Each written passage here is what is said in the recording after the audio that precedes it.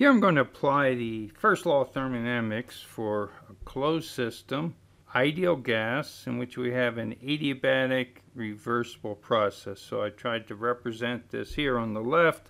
For example, if we're carrying out compression, we start with a small weight, and as we compress the gas, keep adding, adding more weight. So you notice the pressure of the gas, in this case 1.26 megapascals, is the same as the external pressure being exerted on it. Because it's reversible, we could also just as easily be looking at expansion where we start at 1.26 megapascals and then expand the gas reversibly by removing weights till we end up at 0.26 megapascals.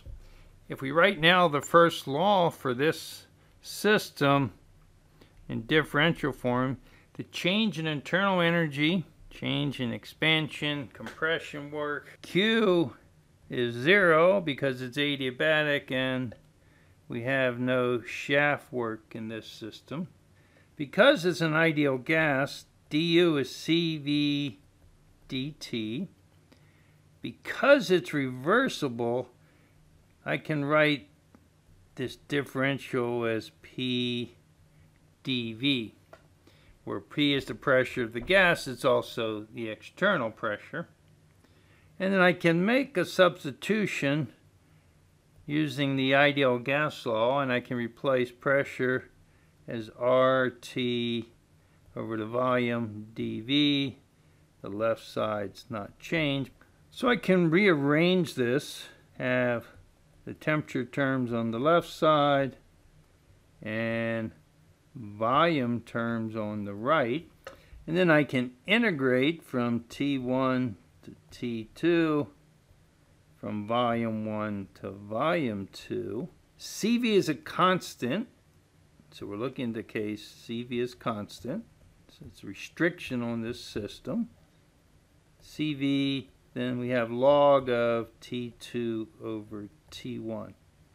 On the right side, r is a constant, of course, and we have the log of V2 over V1. Now I'm going to use the ideal gas law on the right side to rewrite V2 over V1 as T2 over T1 P1 over P2. So all I've done is take the ideal gas law P2 V2 equals R T2. And let's replace V2 by R T2 over P2. Likewise for V1, the R's cancel. I end up with this log term on the right side. But notice I can rewrite that, I have a log of products, I can write this as a sum of logs. So, and important I don't leave out this minus signs. So minus r log t2 over t1 minus r log p1 over p2.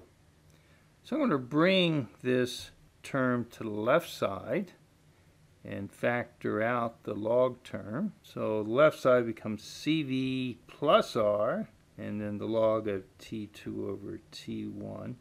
And on the right side, I'm going to rewrite this term by reversing P1 and P2 and changing the minus sign to a plus sign. So again, just a property of, of, of logs. The right side becomes plus sign now, log of P2 over P1.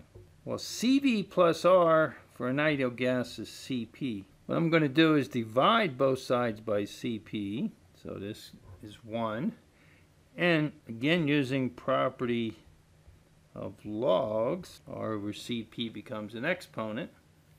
Now if I take an exponent of both sides of this equation, I have T2 over T1 equals P2 over P1 raised to the power law, excuse me, R over Cp.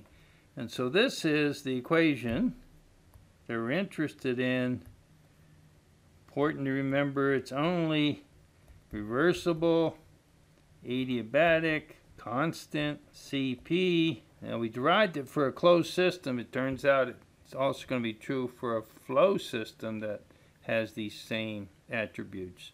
And so as we pressurize the gas, this tells us if we do it adiabatically, the temperature is going to increase. If we expand it adiabatically, the temperature is going to decrease.